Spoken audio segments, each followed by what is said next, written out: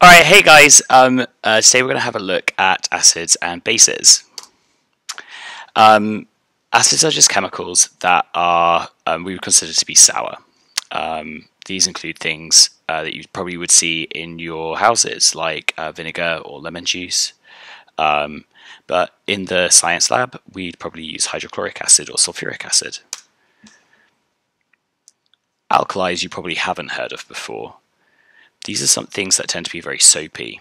Um, if you rub them between your fingers, then you can kind of feel them start to uh, feel very soap-like. These tend to be in things like cleaning products. Um, a good example is uh, like baking soda, bicarbonate of soda.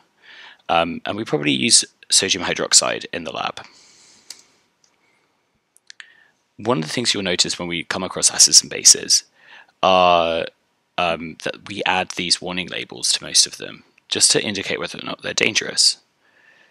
Here you can see I've got a sample of uh, a, a degreaser and if you look on it you can see that we've got a corrosive warning label on it.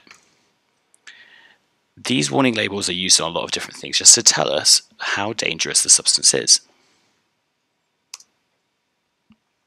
Let's go over some of these different warning labels so you know what they look like.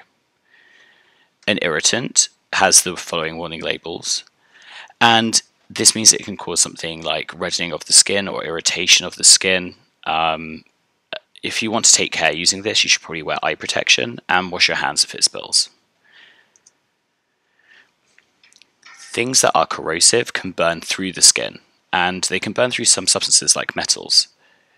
To take care, you, need to wear eye protection and wash your hands um, uh, and you should probably wear gloves if it's very, very corrosive.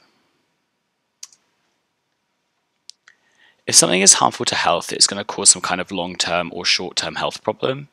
It could be something like having breathing problems or something longer term like giving you cancer. Um, to take care, you need to wear eye protection and uh, you should definitely wash your hands if it spills. If something has this skull and crossbones sign, it means that it's toxic, and that means that it's poisonous to humans. Uh, in very extreme cases, it could kill you. If you're using something that's got the toxic warning label, you need to make sure that you're wearing gloves to wear eye protection, and you definitely need to make sure that you're washing your hands once you've used it.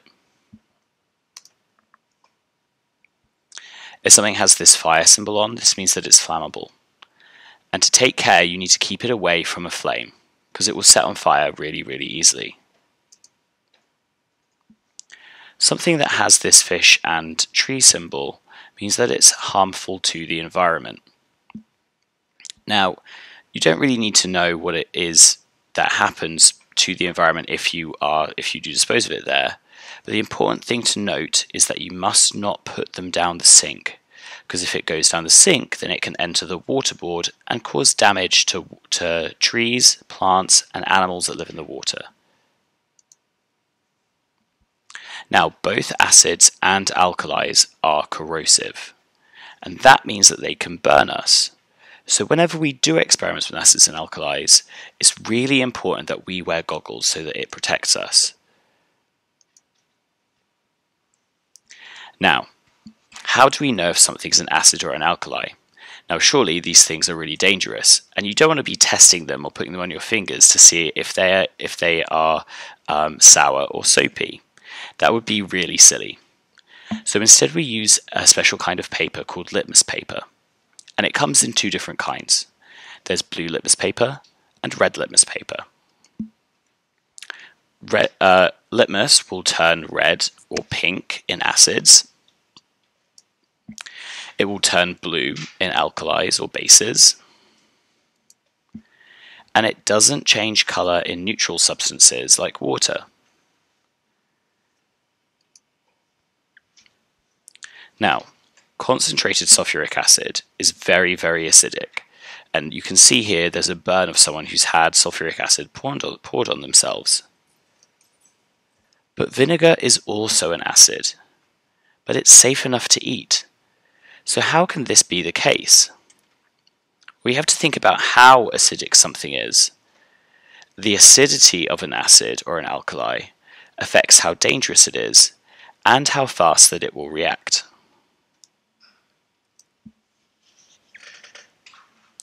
We create something called the pH scale. That goes from 0 through to 14.